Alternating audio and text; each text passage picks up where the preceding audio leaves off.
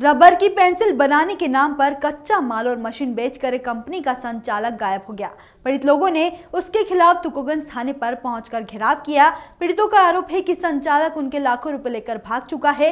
पीड़ितों ने पुलिस से मांग की है कि आरोपी पर धोखाधड़ी का केस दर्ज कर उसे गिरफ़्तार करे। इस मामले में पुलिस ने जाँच शुरू कर दी है। थाना तुकोगंज में मंगलवार दोपहर को रबर पेंसिल बनाने की कंपनी चरदिकला इंटरप्राइजेस के संचालक नवदीप सिंह के खिलाफ कई लोगों ने मोर्चा खोल दिया। पीड़ितों का आरोप है कि नवदीप ने पिछले तीन माह से कई लोगों को रोज़गार देने के नाम पर ठगी की है। यादव है और हम उज्जैन से आए हैं। चर्दी कला एंटरप्राइजेस से हमने कांटेक्ट किया था कि वो हर महीने हमको माल और मशीन का पेमेंट दिया करेंगे। तो अब उन्होंने बिल्कुल देना बंद कर दिया। तीन महीने हो गए, ना तो वो पेमेंट दे रहे हैं और हम हमको, ना हमको माल दे रहे हैं। और अभी हमने उनकी कंप्लेन करी है तो वो उनने तीन दिन पहले हम उनके जो ऑफ़िस के थे लोग उनको ला के यहाँ पर बिठाया और ना कोई कार्यवाही करी और उनको छोड़ भी दिया वापस से। और आज फिर हम लोग सब आए हैं तो वो लोग आश्वासन दे रहे हैं कि हम करेंगे पर कर कुछ भी नहीं रहे हैं। बोले हम एसपी से पूछेंगे इससे पूछेंगे तो हम कितना परेशान हो रहे हैं। सब गरीब तबके के लोग हैं सब परेशान है मजदूर है छोटे छोटे बच्चों को लेके यहाँ पे खड़े हुए हैं और कोई कार्यवाही नहीं हो रही हम लोग सब परेशान हो रहे हैं। लोगों की शिकायत मिलने के बाद थाना प्रभारी ने जाँच की बात कही।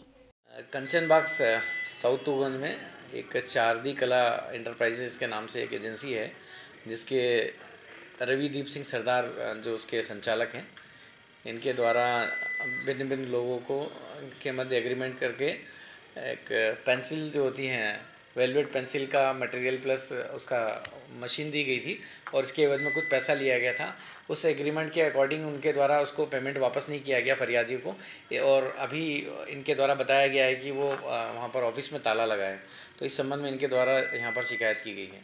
अब इनका शिकायत आवेदन पत्र लिया है, जाँच में लिया जाता है। इसमें जो भी विधि सम्मत कार्रवाई होगी, जाँच उपरांत वो की जाएगी। कंपनी ने वेलवेट कोटिंग की मशीन बेची और स्टाम्प पर एग्रीमेंट कर सपने दिखाए। फिर एक दो महीने तक कच्चा माल देकर पेंसिल खरीदी, इसके एवज में लोगों को अच्छा मुनाफा दिया और बाद में संचालक ने हाथ खींच लिए। उन्हें कच्चा माल बेचा और फिर तीन महीने तक रुपए नहीं दिए। जब लोग कंपनी में पहुँचे तो संचालक नहीं था। इसके बाद अब लोगों ने थाने पहुँच शिकायत की। Bureau report Khabarbar news Indore.